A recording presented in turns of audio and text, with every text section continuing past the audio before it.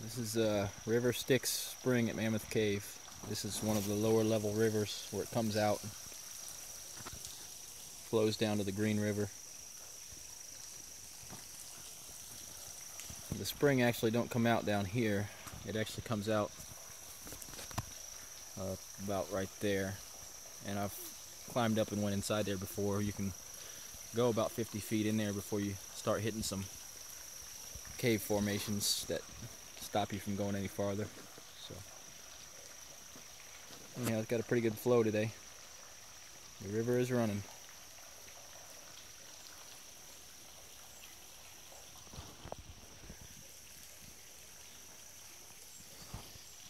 I'm not going down there because it looks like a hog waller of mud.